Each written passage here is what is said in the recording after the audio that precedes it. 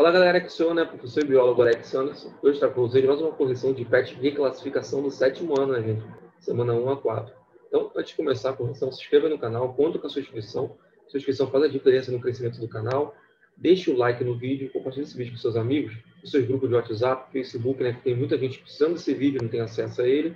E ative o sininho, pois sempre que fizer um vídeo novo no canal, vocês serão notificados. Vamos lá para o que nos interessa, né? A reclassificação de geografia. Então, atividade questão 14, assunto, conhecer para preservar barra vegetação. Observe o mapa, né? Aí tem aqui 1 e 2. As áreas delimitadas nesse mapa, pelos números 1 e 2, representam, moleza, né, gente? Floresta Amazônia, né? Tem reforçado aqui por 1. Aí a outra vai ser o Cerrado. Então a resposta vai ser a C. Questão 15, assuntos. Divisões regionais brasileiras. Analise o mapa de uma das divisões regionais do Brasil. Regiões brasileiras. A divisão regional assinalada no mapa acima, então aqui tem várias regiões, tá vendo? Divisões regionais, 1, 2, 3, 4 e 5. Então a resposta vai ser a B. É baseada em critérios políticos administrativos e tem limites das fronteiras estaduais.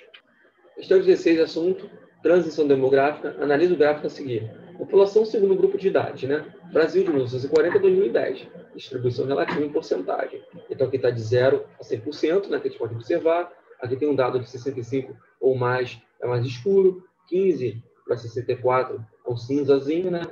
E 0 para 14 é branco. Então, com base na análise do gráfico, podemos concluir que a tendência da população brasileira é a moleza, né, gente? Desde o envelhecimento da população, né? A resposta é dele, você pode ver, né? E cada vez fica, é, cada vez fica aumentando, né? É, o cinzazinho ali, né? A população fica cada vez de 15 a 64, cada vez uma população mais jovem.